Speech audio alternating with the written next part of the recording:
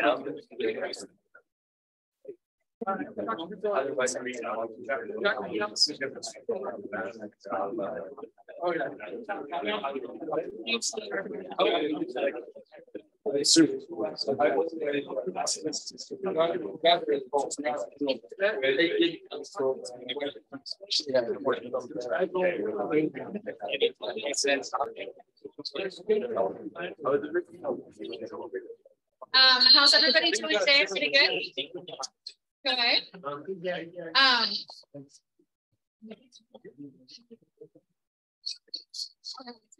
Um, thank you guys very much for coming. Today we have a very special guest, um, and today we try to do something a little bit different. We've got someone coming from the National Mining Hall of Fame. Um, and we have a couple of guests from external to the school, so thank you guys very much for coming. Um, we do this every Wednesday.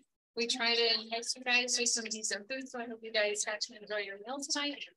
Um, and with that, we'll go ahead and get started. Tonight, our presenter is talking about the challenges of mine planning and lead planning. Uh, Steve Hoerger's got an extensive background working with Newmont within the planning district. Um, I've had the honor of getting to work with him over the years. He's a great person. So I'm really excited to see what all he has to share with us tonight. And thank you guys so much for coming. Oh, and there's a sign-in sheet in case you guys didn't get the sign-in sheet. Thank you guys very much. Do not say with me, sir. Thanks, Sarah. We're just working in the room to get rid of an echo. So give us just a second.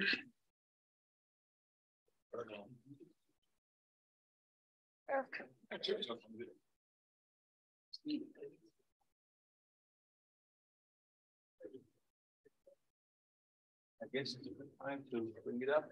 And I might. Sure. So I'll, I'll try to get started and see how the echo is.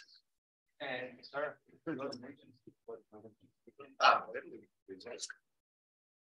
So again, I'm, I'm going to talk to you about challenges in mine planning and uh, I put the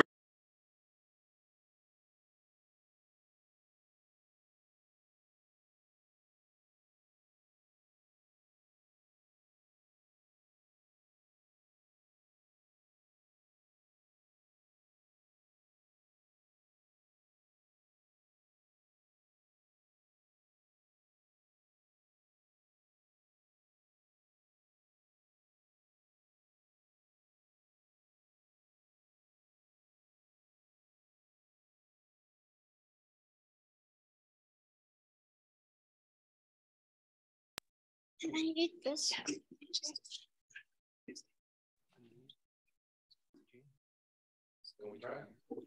Okay. Oh, it's the sound from this computer. Yes. Now it should be working. Okay.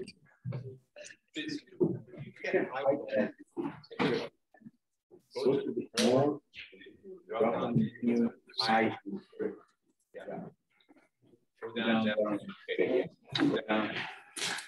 as I mentioned, I worked at Newmont for 32 years before retiring in 2020. Um, in my semi-retirement, I'm also doing consulting work with Peak View Mine Planning. So that's my quick sales pitch. Um, doing some mine planning research, doing re reconciliation detective work, and also doing mine planning consulting and auditing. But during my time in Newmont, um, I worked in a variety of planning roles at site, in the region, and at corporate. And during that time, I, I, was both on the giving and receiving end of this plan isn't good enough, I need a new plan. And that certainly uh, has stuck with me, whether I was at the site, the region, or the corporate office. But um, my educational background, I graduated from Michigan Tech in mining engineering and then stayed on and got a PhD in engineering.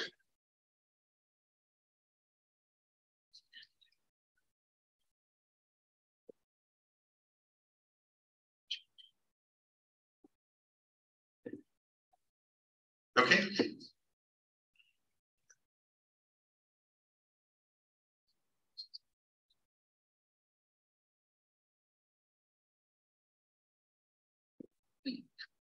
So I'll do my best to keep talking and uh, keep the microphone away from the, the computer. But um, during the talk, again, thanks to the School of Mines for inviting me here. I talked to Kadri about possibly talking to some of his classes. And then that turned into talking to the Mines Alumni Network and also advertising through the National Mining Hall of Fame. And within the talk, I'm going to be talking about some inductees to the Hall of Fame that I've crossed paths with during my time at Newmont. Um, but the full disclaimer is this is all based on my views and my uh, memory. So the facts may not ag be agreed to by everyone at Newmont or elsewhere. So at Yanacocha, um, the mine started up in 1993, just as Peru was escaping a whole period of terrorism with the Shining Path. Um, so it was considered very risky at the time. Um, it's basically been an open pit uh, mine with truck shovel haulage and almost all of the ore being sent to leach pads uh, with very quick recovery, very surprisingly easy metallurgy. Um, by 2000, it was producing 1.8 million ounces per year. And then by 2004, it had ramped up to over 3 million ounces per year, which still wasn't quite the largest gold mine in the world at the time. That was in Grasberg in Indonesia. Um, but almost as fast as it ramped up, it started ramping down. And by 2014, it was producing less than a million ounces per year.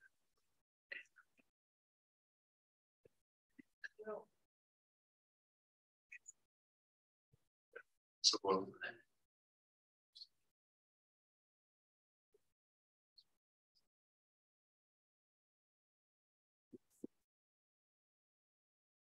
And of course, now frozen things up here. Okay, so um, we really want to start talking a little bit about mind planning theory and practice. The whole reason we make mind plans is because we're trying to achieve some type of goal. And typically that goal is to maximize value. But as Yogi Berra said, if you don't know where you're going, you'll end up someplace else. And so that's really the key starting point is what do we want to do for our, our mine plan? And sorry, this echo is really bothering me too. Um,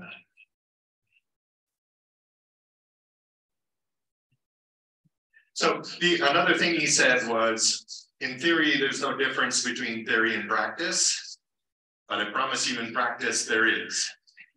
And I think that's something really important I want to share with the audience here, especially with the student audience. Um, everything you do will be based in theory. Theory is an important part of practice, but it's not the whole part of practice. Probably.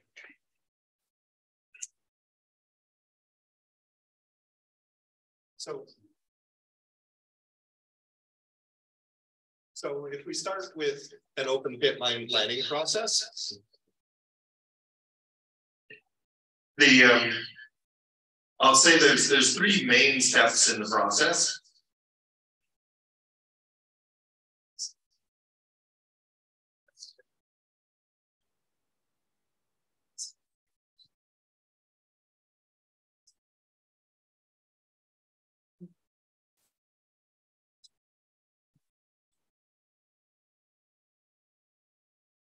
And again, if this Microphone's still working. If you're online, we're still trying to debug your microphone problem here.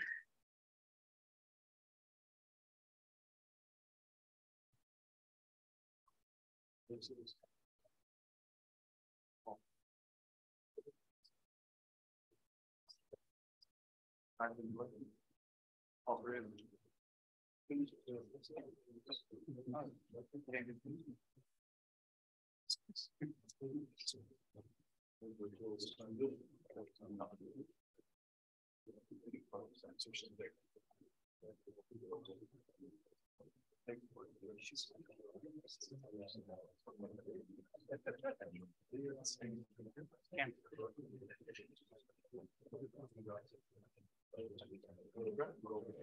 Yes, thank you. Okay, so in terms of mine planning, we'll talk about the theory. Share your screen with me. Oh, now we need to share the screen back to. Need to share the screen with uh, Zoom.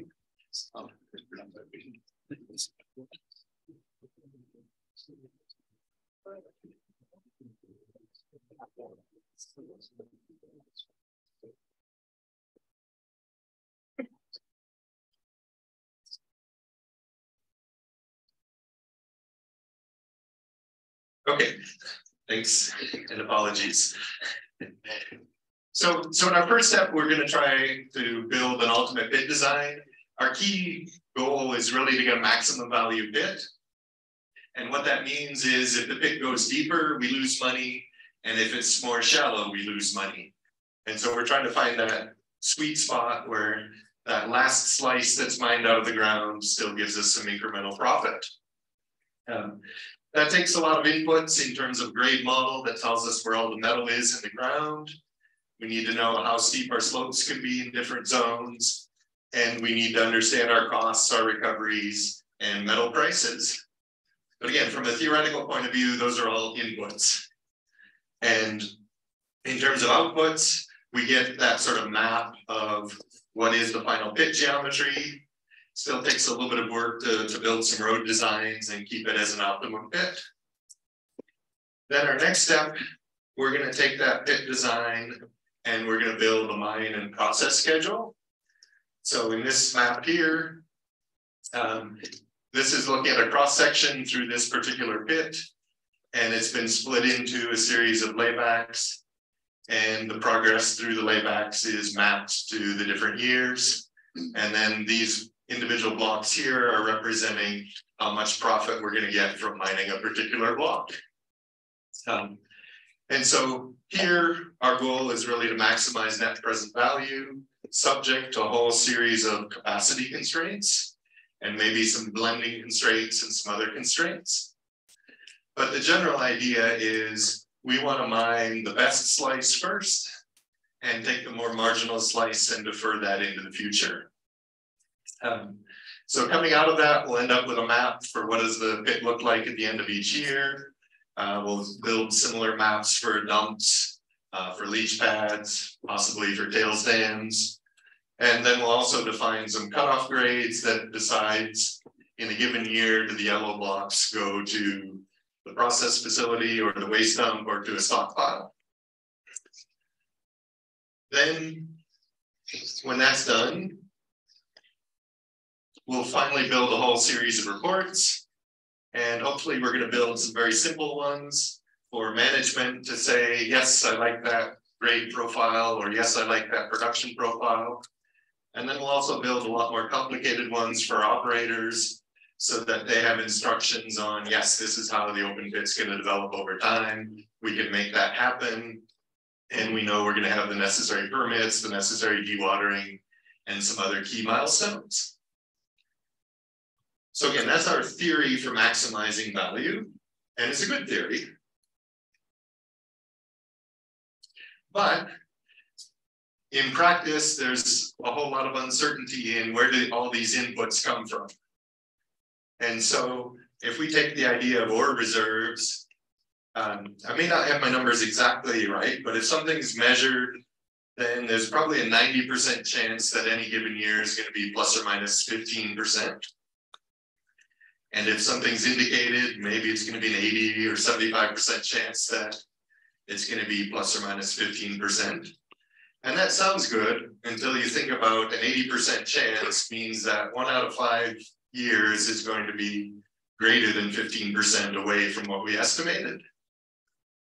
So that's that's pretty uh, challenging to work with. And it's even more challenging for the whole geostatistical process to get something that's even that accurate. Um, we'll have uncertainty in our slope angles, we'll have uncertainty in our metallurgical recoveries, and we'll especially have uncertainty in our metal price. Um, those are just uncertainties, but other difficulties are going to come up in who's going to actually figure out what is the cost of mining a ton of rock. When you're in school, it's very nice because Kadri or Hugh said, here's your cost per ton, go do some calculations. Um, but if you're working on a new project, it's going to be a lot of work to find similar projects, find cost information, figure out how many people are going to be in the mine, how many trucks, how many dozers, how many graders. If you're at an existing mine, you may already know how many trucks, trucks, dozers, and graders. But all those numbers are going to be in an accounting system that works great for accountants. But it's probably going to take a fair bit of work to figure out okay, I need to grab this account, this account, and this account to grab all of my mining operating costs. And by the way, I've got a whole list of capital projects that accounting says they're capital, but they're still essentially a variable cost where one additional ton of rock mined is going to require additional capital. But just as an example of some of these uncertainties, um, if we take a look at the gold price over the last 15 years, if you were going to plan a mine in, in say 2010, the question would be, what gold price should I use? Do I just say, well, it's 1100 today, let's just use 1100? And maybe that looks good and conservative if you only look at the past because that's all you can see. But you would have been in very good luck if you designed at 1100 in 2010. You get up to, to 2013, boy, it sure looks like 1600 is a very conservative gold price. And unfortunately, it wasn't. So if you designed your mine here, you probably mined a lot of material that didn't make any profit over the next several years. Um, and so that's where, again, I, I don't know if it was luck, conservatism, or what, but certainly Newmont was very slow to, to increase its planning price and finally settled on 1200 in these sorts of years and still got really nervous in 2016 when it started to dip below 1200. So again, those are some examples of uncertainties you're going to run into in the planning process. Metal price is actually not too bad for engineers because usually somebody in the corporate office is going to tell you what to use. But when it comes to some of these other parameters, you'll be on your own to figure out what sort of costs to be using.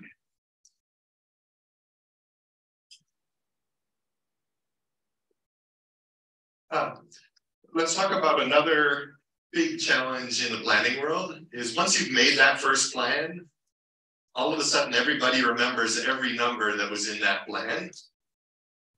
And so when you go to make your second plan, the process becomes a whole lot different. And basically that becomes the measuring stick. And if you give a number that's better, that's great, even if there was a mistake in that better number, because that just became the new number. But if you give a number that's lower, there's a good chance that somebody in your chain of command is going to say, that's not good enough, try again. Um, and the problem is it may look worse in production costs. Uh, maybe it looks better in terms of headcount, but there might be three or four numbers that look wrong. And oftentimes the man, if you ask your manager, well, which number do you want me to fix? The answer will be, well, I don't know, just give me a better plan and I'll know it's I'll know it's better when I see it. So be prepared for a fair bit of back and forth with your manager. Um, in this sort of example here, if this was say a, a, brand new project and the first plan that the board of directors saw said the, the production was going to be in blue. If you come back with a plan like this, there's a good thing, there's a good chance the project manager is going to say, well, that's not good enough. Um, I really need you to, to look at, can you maybe add more trucks, look, raise the cutoff grade, or do something to get those red lines closer to the blue lines. Um, I think a really important thing to say here is that it's better to have that back and forth because if you automatically do something like this and get it to match the blue plan, then your manager is going to have no idea of what the risk is in the plan. So it's always good to be sharing your problems upwards and your boss will give you a pretty clear idea if you're oversharing and you'll calibrate to the right spot. But in this sort of example, let's say you make a plan with more trucks and a higher cutoff grade, and you show it and probably the first question a project manager is gonna ask is, oh, that raised my initial capital and I'm totally graded on what's my initial capital for the project. So can you make that plan work with more trucks happening in year two instead of year one? Um, and if you tell them, yeah, here's the initial capital impact, here's the NPV impact. After you've moved the trucks to year two, he may forget about the NPV impacts and say, yep, good enough. I've met my production profile, I've met my initial capital, and we've got a new plan ready to, to go. So again, those are some of the examples of trade-offs and back solving that you're gonna have to do. So again, theory and practice are different, but that's not to say that the practice is wrong. Practice has some very real impacts. Um, here's a case where the plan actually did meet up with the actuality. And I don't know how Tom McCulley did it, but he built a $5.5 billion project in Peru in the middle of COVID and came in on time and on budget. At least that's the public publicly reported numbers. I'm sure there's a secret there somewhere. Um, and again, I shouldn't say that because I, I know nothing about the situation. But again, that's a case where the actual is judged against the plan and met the plan and everybody was happy. If the plan had been 5.9 billion and he met the 5.9 billion, everybody still would have been happy because it's it tends to be about what's the plan you put out and do you meet the plan? So it's really important to get those public numbers right and achievable. So here's a case, here's a headline from 2019 where Newmont Goldcorp um, had to change their plan. And because of that, they provided lower guidance to the market. And in one day, Newmont stock lost at its peak, I think it lost over 5% of its value. And by the end of the day, it had settled down at 3% of its value. So a billion dollars lost in one day based on a change in plans. And that was certainly not the first time I've seen this happen to Newmont or Barrick or many other companies. So again, making those changes in plans is a really big deal. And what's at the core of those plans are probably mine plans. But it's important to know that eventually your mind planning work, even your first year out of school, may get up to the CEO. And so when you do have bad news, don't keep it to yourself. You've got to share that and let other people help you work through it. So maybe that's a bad story, but here's a really ugly headline. Um, where the Magino project went from 500 million up to 800 million in its cost estimate. It's since gone higher, but that's a case where, again, you can read the headline of the CEO's fired after the plan had to be revised.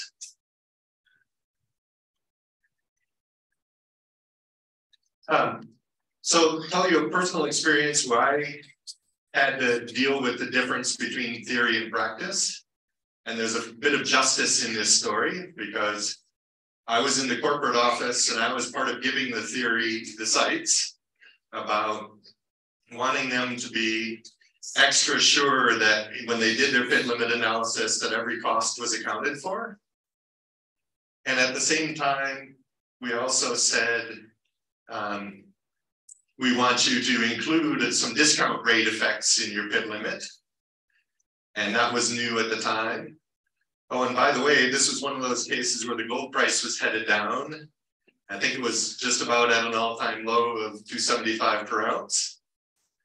And so we ran our pits. Sorry, after I gave that guidance from corporate, then I switched jobs to when I went where I went to Yanacocha, had to live with my uh, theory. And in practice, using those input assumptions made significantly smaller pits. So took a little bit of time to make sure all the numbers were right. And then my boss had a, a, little bit better sense of practice than I did. And he said, well, this is big news. We better get on a plane and go back to Denver and explain this to the folks in Denver. So my wife Jenny had just moved to Cajamarca And I got to tell her, uh, sorry, I'm gonna go to Denver, so I'll be back in a week. Um, but we did get some very good executive guidance. Um, it happened that one of our operations leader, uh, he started his career many, many years ago as a draftsman. And he liked to use the term sharpen your pencil. And so we did sharpen our pencil on some of our costs and got a better accounting of what belonged as a mining cost versus a processing cost versus an overhead cost. The other big change was we said, okay, the gold price is going down, but also the oil price is going down. So we recalibrated our oil costs. And then we went back and looked at some of the new models and found a few flaws where they were being too conservative. Um, but again, that was certainly a, a very stressful welcome to the Yanacocha property to have to go from a, oh my goodness, where are the reserves to, okay, we've got the reserves under control. Um, so again, theory and practice are both important.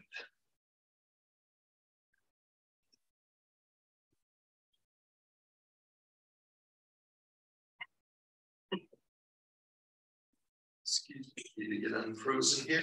So here I want to talk a little bit more about um,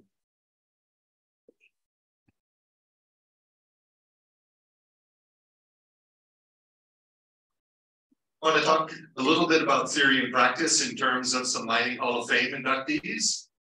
Um, I, I, can promise you I did not meet Seeley Mudd, um, but he was a mining engineer in the 1800s. Um, he was actually the originator of, of where Cyprus Mines came from, which merged with AMAX, which merged with Phelps which merged with Freeport. Um, but he, um, he, he was an expert in practice, but when he died, he left a lot of money to the Society of Mining Engineers to fund textbooks. Um, so these are actually some of the first textbooks I learned with. Uh, this is Surface Mining First Edition, which just recently went up to Surface Mining Third Edition. Um, so I thought that was interesting how his career went full circle from practice to theory. And then I also got to work with um, just briefly with Gordon Parker, he was Newmont's CEO when I joined the company in 1988.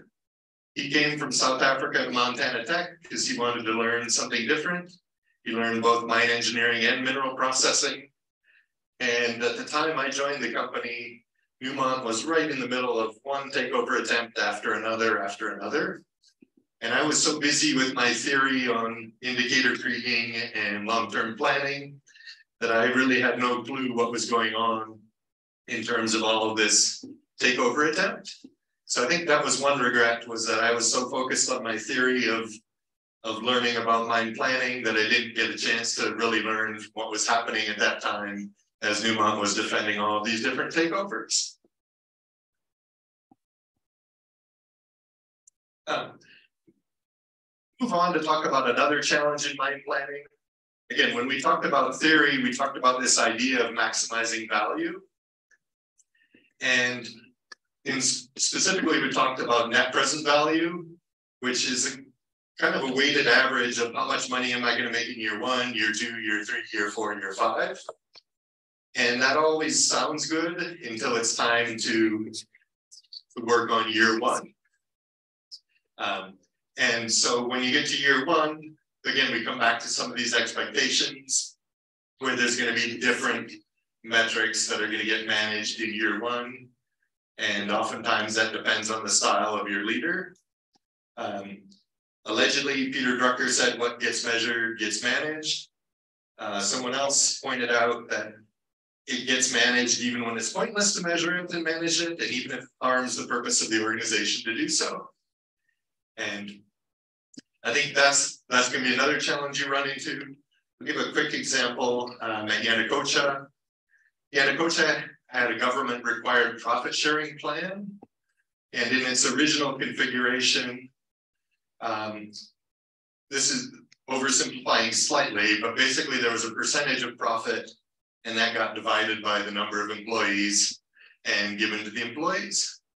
So as you might imagine, management there was very reluctant to add employees because that would be another slice of the pie. Um, So definitely they had contract mining.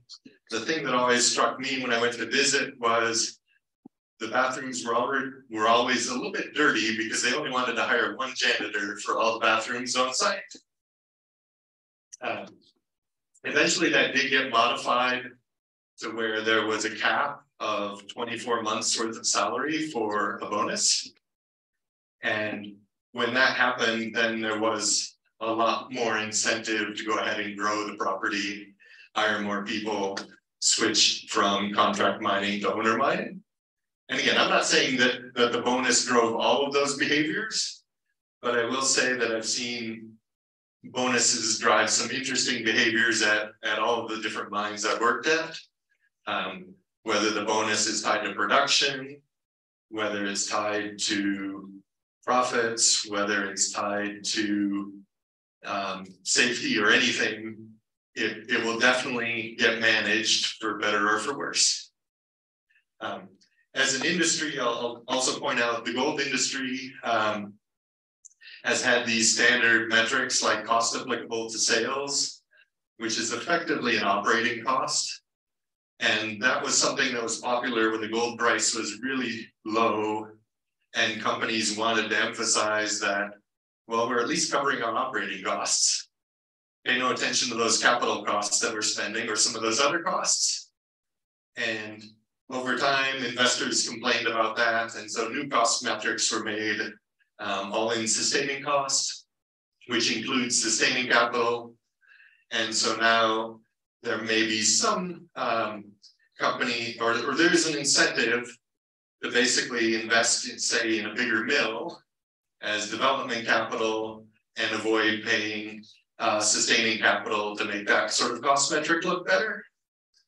But again, just emphasizing that as an engineer, you're going to have to understand what are some of the key metrics that your executives are looking at even though those metrics may not tie to the idea of figuring out the cash flow from a property.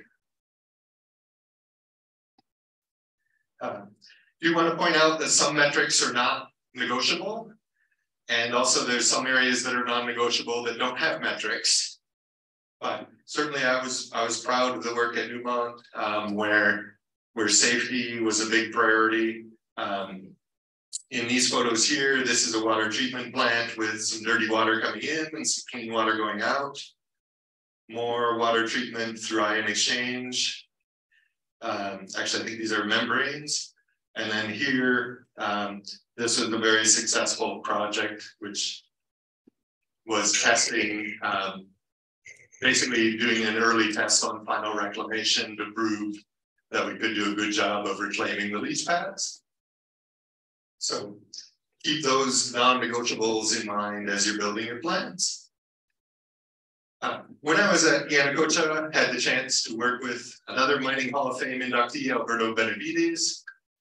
Um, when I when I got to present plans to him in his Lima office, he would be in his corporate library surrounded by 50 years worth of geology books. And we'd all get to sit down in the boardroom and he would very patiently uh, pour himself a cup of coffee, put it in his walker, and push it back around the conference room to his seat, and was just completely fully engaged, even in his 80s. Um, so I, I aspire to have that level of, of thoughtfulness when I'm that old. But um, he, again, he was an expert in geology as well as mining and as well as business but he would always ask lots of questions about environmental and social responsibility. Um, the same for Len Harris, who was Newmont's general manager. Um, and he was a, a, a, metallurgist by trade, but he was the original general manager at Yanacocha during its startup. And again, he would ask lots of questions about metallurgy, but he would ask just as many questions about environmental and social responsibility.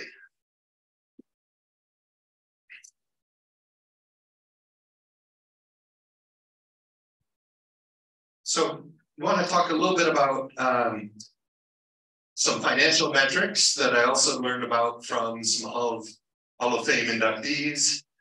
When Pierre, Pierre Lassonde uh, truly has a golden touch, and oftentimes he has a golden jacket when you see him at a, at a social function. But he, um, his initial $2 million purchase of Goldstrike royalties basically made him rich, and it really started the whole royalty business.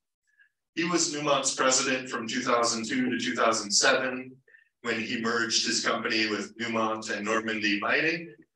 Um, at the end of 2007, he had had enough of a big company and he went back and he refounded his, his Franco-Nevada company again in 2008. But the first time I got to meet him, he came to Yanacocha for a site visit. Um, shortly after he had traded a fraction of his ownership for a fraction of Newmont ownership.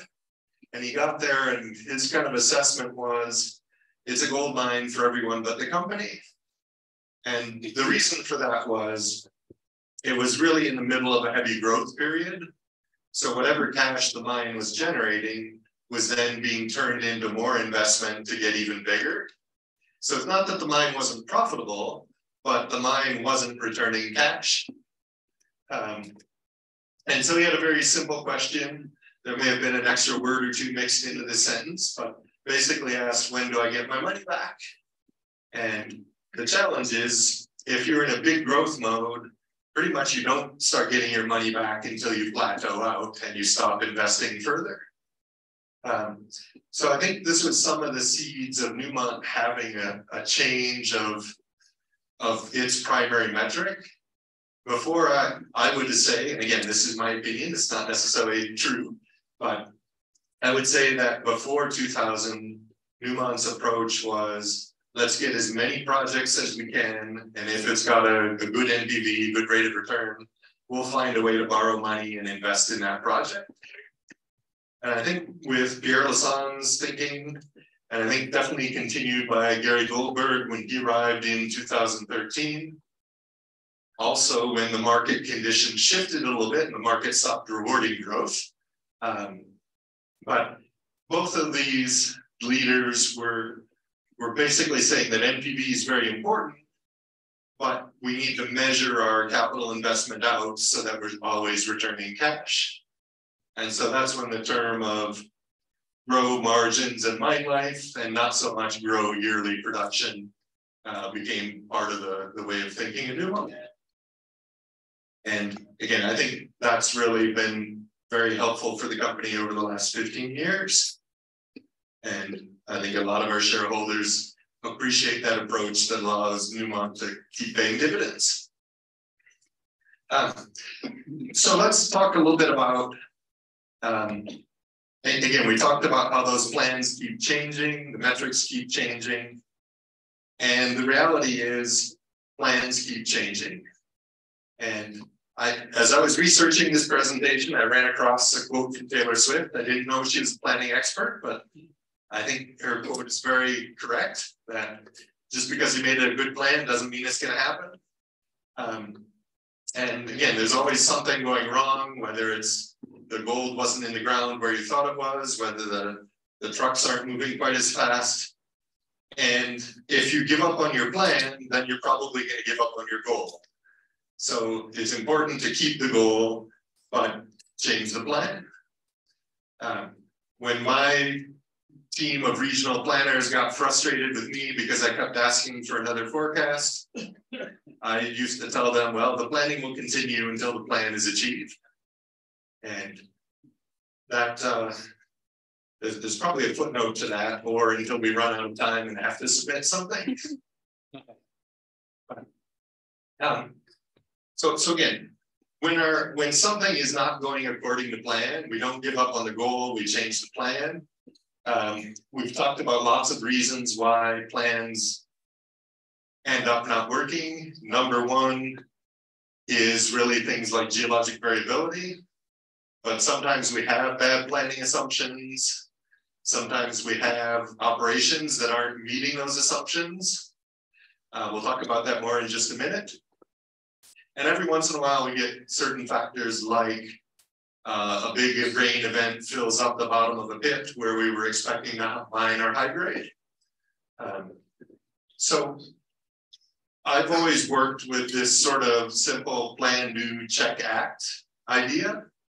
Um, and so again, we make a plan, operations generally does the doing, and then we work with operations to see are we achieving the plan or not. And if we're not, then that's where the fun starts, where we've got to do a lot of detective work to figure out why we're not meeting the plan and how we're going to act on it.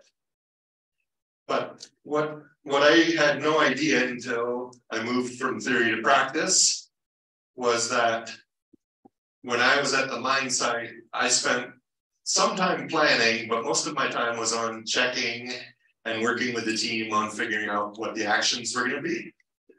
Um, and again, checking means it's a, a, a reconciling process of what did the plan say, what did we do, and then a fair bit of detective work. Again, this is a really important place where you need the teamwork because if you just go back to operations and say, oh, you're not moving enough tons, generally they're higher in the food chain than you are. And so you need that teamwork to get them to, to buy into the variance analysis and the detective work. Um, so I'll talk about another stressful case in Yanacocha. When I look back on stressful cases in my career, a lot of them seem to come from being in Yanacocha. Um, as as my friend used to say, when you're at the mine site, you're at the pointy end of the stick. And um, but in this case here, we had a over time we developed a whole series of monthly reconciliations to look at block models, to look at how much gold we mined versus what the exploration model said. And it's always hard because any one month is going to be plus or minus a fair bit. So you need a few months in a row to tell you that there's a problem. Well, we finally figured out that yes, we definitely had a problem on tons mined. And this was really stressful because at this point in my time in Yanacocha, I'd been there like two and a half years, I think. And the mine manager had just recently come from another mine site and he was highly respected, also higher grade level. And so it's hard to say, okay, is there a problem with operations or is there a problem with planning? And so again, that's where it was really good that we, we had the teamwork that we said, well, we're not going to make any assumptions. We're just going to start to put in place the programs to figure out where the problem is. And we found a lot of disconnects, but the two biggest disconnects we found were that in certain cases, our trucks just weren't moving the way they were supposed to. And the most notable was on a steep ramp, the trucks were supposed to be in second gear, but most of the trucks were in first gear. And then when we got to some of the flat hauls or even downhill, the trucks were hesitant to go above a certain peak speed.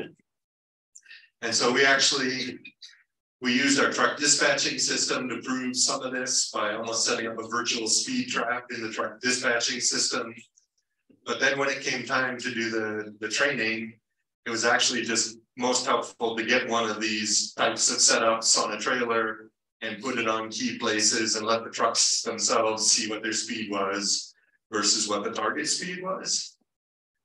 Um, the other, the other issue, the big, the other biggest issue we found was a planning problem where in this particular La Quinua pit, we were putting down somewhere between a half meter and a meter of hard rock on top of this very muddy, gravelly ore body to prevent the trucks from sinking in. And so that tonnage that was constantly circulating around wasn't factored into our calculations enough. Um, but again, the, the nice thing was we worked together and made it made it work. Um, just another quick note on another Hall of Fame inductee, Harry Parker, uh, passed away recently. Um, but he he was probably the world's authority on estimating how much gold or copper or lignite was in the ground. Traveled all over the world. Um, fun fact was he was an airsick bag collector. So I don't I don't even know if they have barf bags in planes anymore, but he uh, he was always taking one with him when he went. But he um, I got to meet him at Gold Quarry where the banks had hired him to make sure that the Newmont reserves were adequate before they would basically buy the Newmont roaster and then uh, lease it back to us to use for 20 years.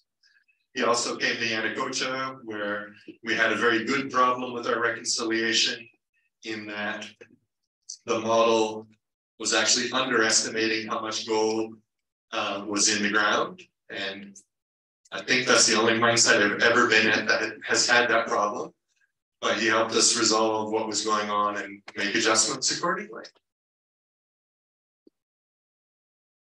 So I want to talk about one last challenge. Um, and it's really, it's, it's the way to overcome a lot of the earlier challenges. And that's how do you build some flexibility into your plan in order to account for uncertainty.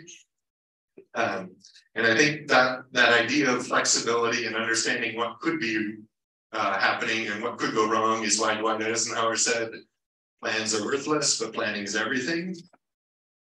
Um, again, a, a different authority on planning said everyone has a plan until they get hit in the mouth.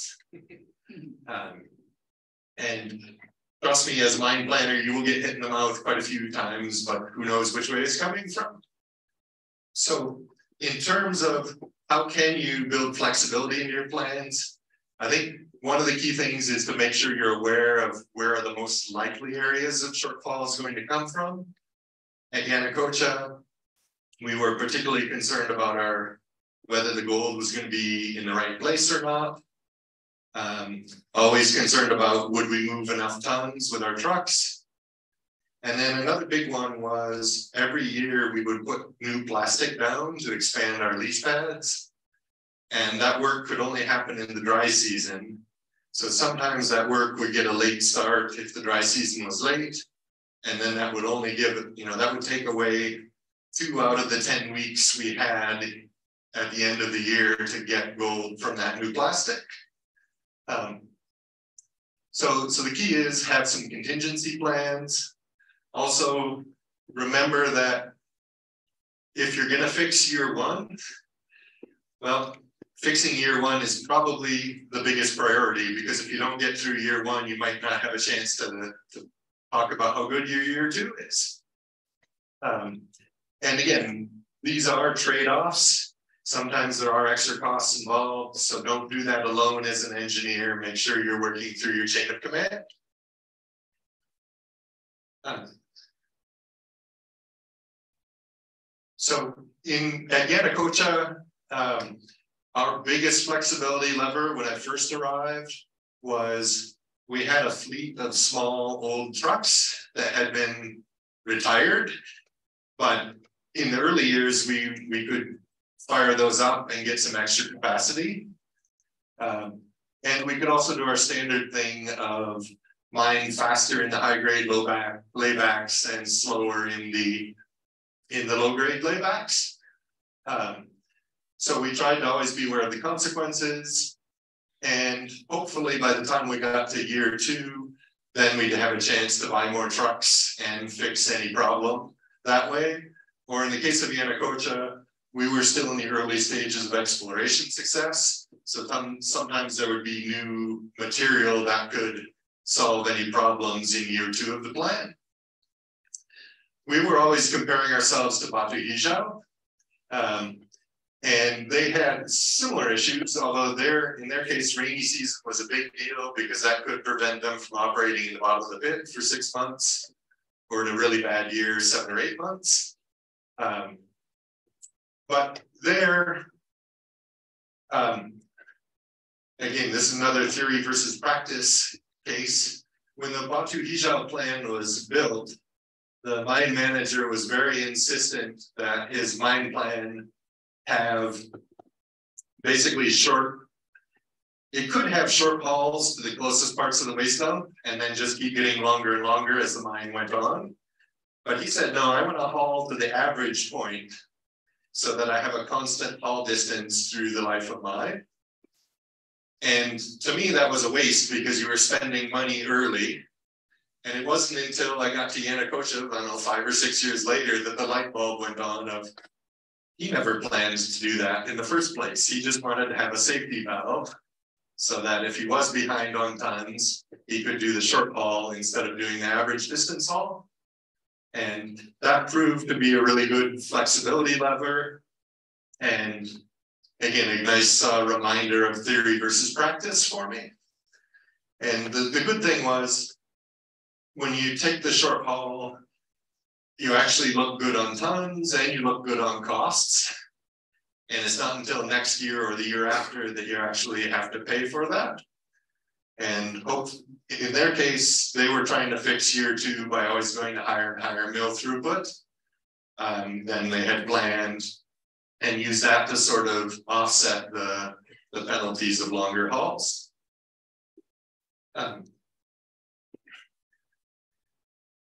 so again, we were a little bit competitive between the two sites, and I didn't realize how much we were until we get to the end of this story. But um, at Yanacocha, we always thought that um, we should follow this quote of it's better to aim high and miss than to aim low and hit. And we always accused uh, Batu Hijau of being sandbaggers and setting a very low, um, a very low target. And so if you were to ask us, we were maximizing our assets potential by getting high. And they were a bunch of sandbaggers because they had a lot of slack in their plan. If you were to ask them, they would just say, uh, we're a bunch of heroes and you're a bunch of underachievers. Um, so that that grained on me, that grated on me, but it grated on me more when we learned that our management basically said, oh, Batu's the achievers and we're the underachievers. So that was a, a little bit of a, a, strong lesson for me. And that's why we ended up getting uh, several key Batu Hijau people to come to Yanacocha and help us be more efficient. Uh, so I, I would say this is the one quote in the presentation that I don't agree with anymore. Um, and just say wherever you aim, plan to hit the target. Um, so to, to recap, again, we're making our plans to achieve goals.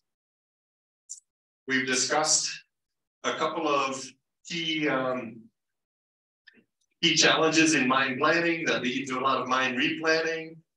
Um, and the most important one here is that planning for flexibility helps ease some of those problems of having to replan again and again and increases our chances of hitting the goals.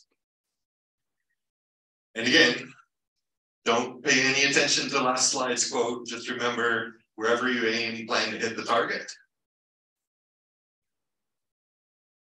Just put a couple of references um, in terms of theory, practice, and history. Again, thanks to the National Mining Hall of Fame for, for helping to publicize the talk and hope you enjoyed hearing a little bit about the inductees. And again, thanks for your attention and open it up for questions or Sarah's going to tell us what's next. Any questions for Steve? Can, can you hear me? This is Corby Anderson. Or questions. Hello. Steve Anders, my points. Not media points, but I'll give them away. But, but anyways, um, so so I don't know if you remember Darren Hall, he was an engineer or whatever at it. He was my boss who taught me taught me about the pointy end of the stick and all right quite a bit about practice. So when he was head of mine planning at, at Batu he did an exercise for us where he actually looked back in time and then looked at it going forward of changing the paradigm about mining the best stuff first. And so his plan was based on mining the low grade during low prices and mining the high grades during high prices to the extent that you could, right? Your body fixes what doing, not doing. And that, that plan, when it was run out, made a huge amount more money than doing it the standard way. And, and we were all really impressed with it, but no one ever picked up on that. I'm just curious what your thought was on that, because it's a totally different way to think about it. Yeah. Um, so yes, it's great. If you can tell me in, in two thousand twelve. Can you tell me, is that a high price period or is that a low price period? Um, and I think. Again, if you were to look at Yanacocha's production profile. I mean, if you take this graph back here, if the gold price would keep going down. And Yanacocha's production profile would have basically peaked and started going down just as the gold price was starting to go up. Which on a single asset basis would tell you it would have been much better to go slow at Yanacocha if you knew in advance what the price was going to be. But I think the flip side of that is, can you actually afford to mine the low grade when the price is low? And I think that's where, even though in hindsight, Yanacocha would have worked better if it had been delayed five or eight years. Uh, it was still the key engine that allowed Newmont to grow. And with that growth, even though Yanacocha was trailing off after 2006, the growth that Yanacocha had enabled allowed those other mines to keep growing and allowed Newmont as a whole to keep growing. But it's certainly a, a big challenge on how what how do you anticipate prices and if you knew what the prices were going to be would you do something different with your mine plan? Just, yep, I'll answer questions instead of getting philosophical. Steve, can you make a comment on optimization and the operation research techniques used in mine planning? Yeah. Um, I can make a comment just real quick that um, again, this this sort of picture here that we looked at was was kind of the standard maybe in 2000 and 2010, where first you make an open pit, then an ultimate pit, then you make laybacks, and then you do some scheduling. And there are algorithms to do this, there are algorithms to do that. And today, the big research challenge is, um, which I think Kadri and many others are working on, is can you skip these two steps and do this in one step altogether? And maybe you're going to come up with, well, at, at the bare minimum, you should be able to come up with a plan that's just as good, but because you have less constraints, maybe you can come up with something significantly better by not forcing yourself into this two-step process.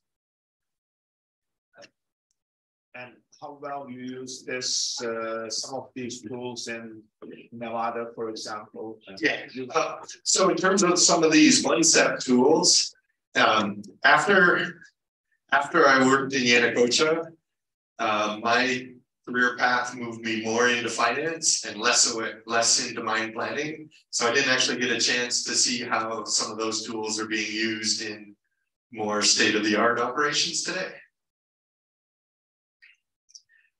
But again, I, I think in this particular deposit, this is actually the Penasquito deposit, which has two separate pits. And I think some of those techniques would work really well and much better than the nested pit analysis in cases where you have two or more pits or where you have long tabular ore bodies. So um, I had a question about the last uh, quotes, like on the last uh, couple of slides that you had. Um, because to me, I should say, like, it made sense to me semantically, right? You know, it's better to wherever you aim, plan, hit the target. But then, uh, isn't that also kind of saying, like, well, it doesn't matter what you're planning, just make sure that you achieve what the plan was. Yeah. Um, I think that's where both, both are important. Yeah. And normally somebody else will have already set a bar that's really high for you. But I think the idea is if you set the bar high, don't don't raise it even higher. Okay. Just to trying to think if there's like a pole vault analogy, but make sure you clear the bar, but don't try to clear the bar by five feet. Okay, I see what you mean there. Because at first I thought what you were trying to say was Eh, it doesn't matter. Just say you're going to do horrible, and as long as you achieve horrible, you're good. Yeah. And the, the reality is that even before you make any plan, um, your company may have a minimum hurdle rate that that's gonna definitely put the pressure on to get to a certain level. Okay, So- thank you. curious about um metrics that aren't NPV because I've seen examples of projects. A good one is I I toured the USG underground gypsum mine in Shoals, Indiana. They're currently trying to prove out a hundred years of gypsum reserve, like you mentioned tabular stuff being uh, new challenge and optimization, but like if you use the standard NPV formulae like that we've been doing in class, that isn't really that impressive, but at the same time, the idea that you could have a proven century of reserves sounds really attractive in the absolute sense. Yes. How do you uh, try and find better metrics, I guess? And I think.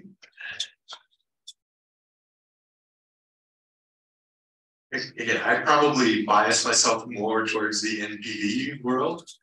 But definitely when you get to things like industrial minerals.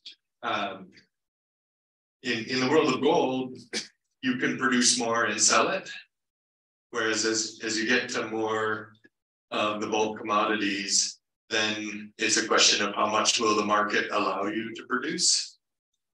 And then if you're talking about a hundred years, in my mind, the question is, do you need to know exactly what year ninety looks like? Or is it enough to know that you've got fifty years? And in general, there's another fifty years, but we'll work out the details twenty-five years from now. And I think that I'll just say that different companies will have different philosophies on, on how to measure that. And I think, again, it's, it's important for you to be in tune with how your company's ma- measuring things. But also to keep your ears open to how our other companies are measuring it to see if you can get some diverse ideas. I guess if you are like kind of, you know, you set your target high and, and you're missing it by a little bit rather than that, that hit the target. And the experience of having like Batu Hijau uh employees come over and help you guys out, what were some of the more specific changes? Was it an overall like culture shift? Was it just like totally re rethinking how you guys went about the mining process or? I, I think. I would say. We got to be better negotiators. Um. I, I'll tell a quick story about our. One year, our chief operating officer basically made his tour of all the mine sites. And he had in mind what the corporate total needed to be to beat the corp, to, to the corporate expectations. And he knew that Yanacocha had the most flexibility. And so when he got to the end of his tour, he said, okay, I, I see your plan. What would it take to get two hundred thousand more ounces? How many more trucks would you need? How much more plastic would you need? And I think we were so eager to please that maybe we didn't push back as much as we should have. Um, but there, there is another expert in the room right behind you. I don't know, Bill, if you want to comment on that type of story.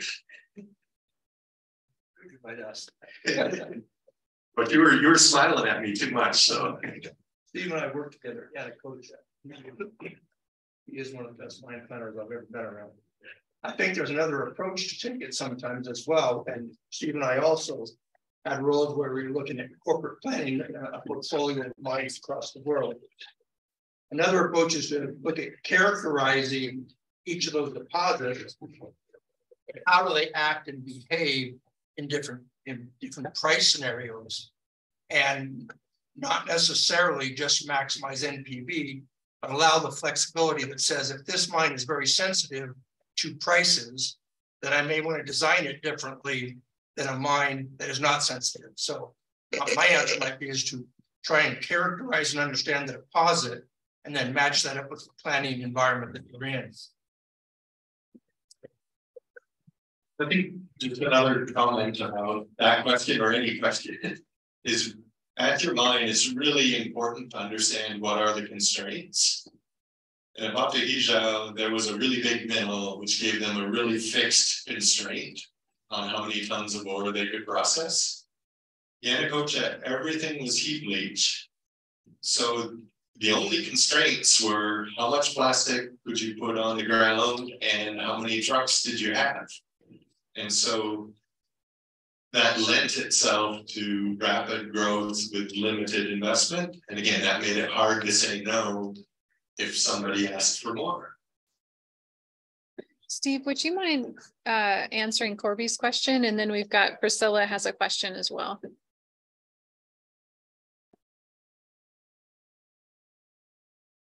Yes. I think, thanks, Corby. I, I would say that um, when when looking at projects that that do have a ramp up period, that I think the, the projects I've been around, that's a huge point of analysis to think about how many months does it take to get to 50% mill capacity? How many months to get to 80, 90, and 100? And so that is an area where people like Bechtel and Fluor have a lot of expertise in planning on those ramp up times.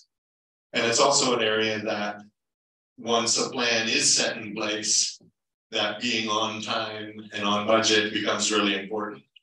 And one of the number one causes of being not on budget is being not on time, because then you've got all that construction crew there for extra, extra months as the costs continue to go beyond the budgeted amount. Thank you. Thanks. Priscilla, am I up next? Yeah, go ahead, Priscilla. Great, thank you, Steve. Um, I'm Priscilla Nelson, one of the professors here, and I work a lot, a lot with tailings and mine closure. And there's a lot of discussion these days on tailings and mine closure. Can you hear me, Steve? No, Priscilla, um, it might be easiest if you type it in the chat. I'm sorry, the my the it's not computed. Or I can repeat it for you. Yeah, you can repeat it. Just say okay. tailings and mine waste management and closing um, are not considered early in the life of mine very often. And and there's a lot of discussion in the tailings industry about changing that so that people are thinking earlier about the costs associated with tailings management and planning. So she's talking about um, the tailings management isn't typically considered in the beginning stages of the planning process or early enough in the mine life. And that those are kind of an afterthought almost in terms of um, tailings management for the long term and mine closure. And we were kind of wondering, um, what are your thoughts of when to incorporate them or how, how well they're being incorporated? Is that right, Priscilla? Yes, and the basic sense is that NPV pushes everything off. NPV will never get um, a rational way of managing tailings. And she's saying that NPV um, pushes out any yeah. kind of. Yeah, I think the, the risk of using NPV for, um, or the risk of not using NPV in thinking about tailings and other closure costs is that um, you're right. If you say, well, it's further out in the future, it's further out in the future, then from an NPV perspective, as long as you say the cost in 2020 is going to be the same as the cost in 2030, then NPV won't, or will will give you a big incentive to push that cost off till 2030. Um, what I've seen are two problems. Um, I, I would say that the projects I've been around have always thought about tailings costs. Um, they've always thought about reclamation costs. The two problems are we've tended to underestimate those costs because when you're planning a new mine, there's not a lot of actuals on what those costs are going to look like. Um, so as an example, when we talked about the sort of pit limit analysis, the, that was one of the key new directives was to make sure we were including enough dollars per ton for each ton that went on the leach pad, both to build the leach pad, but also to close the leach pad. Um, but again, the, the challenge is those costs sometimes get underestimated.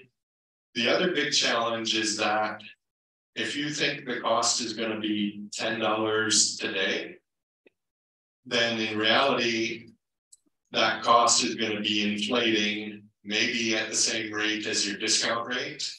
And in some cases, because standards keep changing, it may actually be inflating faster than your discount rate. And I think that, that acknowledgement that some of those costs should be inflated and maybe inflated higher than your discount rate is not taken into account in some of our NPV work. Mm. But, but again, certainly thinking about closure costs, whether it's tailings, whether it's leach pads, whether it's pits, whether it's treatment of water in perpetuity, those are all really important things to get right in thinking about what is the true cost of making that pit just a little bit bigger. Yeah. Yep, it's a big discussion in the tailings world. She says it's a big discussion in the tailings world. Yeah, and I think Thank you for my that. hope is that. I mean, I know the tailings world is part of the engineering world, but hopefully those discussions will help improve practice over time. Um, in terms of metal prices, how does hedging affect, um, you in mind planning affect your appetite for risk in terms of, uh, you know, taking the best first or, or uh, I think. And hedging. Sorry. And hedging is a very emotional topic for many mining companies. Um, and. And I think. Again, if we come back to that sort of price graph, which. Um, some, some mining companies would say we've already hedged our price for a long time. I'm just going to use that price in my mine planning. Um, but in reality, if you've hedged your price, let's say you hedged your price at two thousand dollars, and gold is currently at 50, let's say hypothetically gold was at thousand dollars, then as a business person, you would have to ask, why am I running my mine at two thousand dollars when I could just go out and buy gold bars and feed those into my contract? Um, so hedging, I would say, introduces new questions. It does buy some stability for a certain period of time, but eventually those questions are still going to come back to if this if the long-term forecast is a thousand, why don't I just buy my gold from the corner jewelry store instead of continuing to operate a mine at a two thousand dollar lifeline.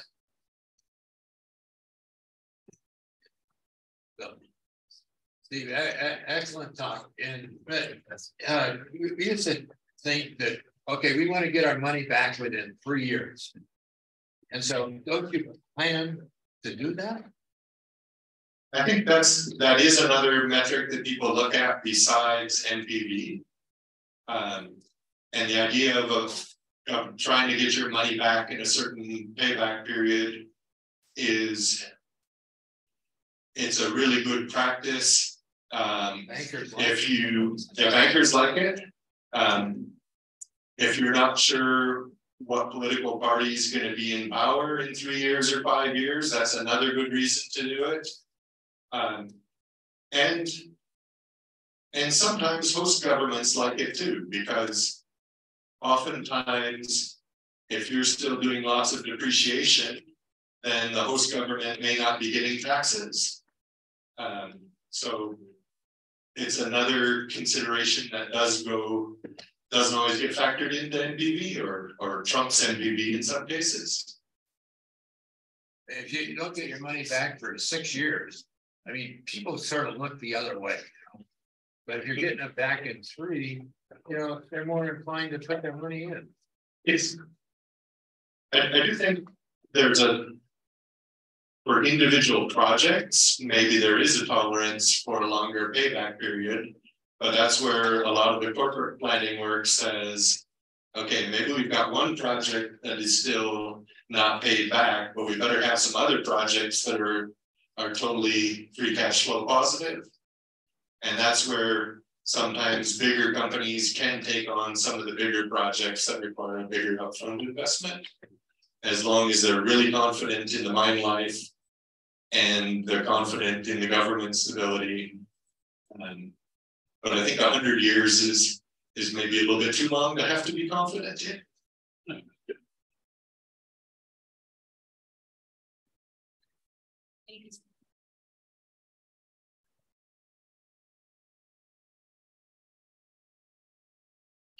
Everybody for coming. I really appreciate it. Hopefully we see you guys all in the coming weeks. Um, we'll keep this up.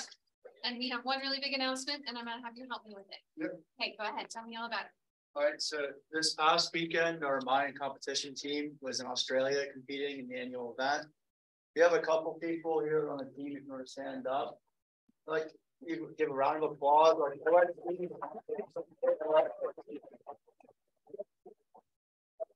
Our mine team was third.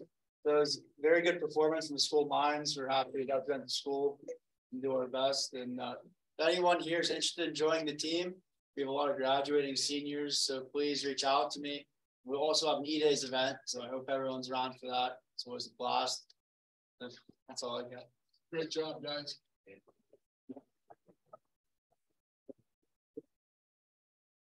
All right, with that, thank you guys very much. Appreciate your time.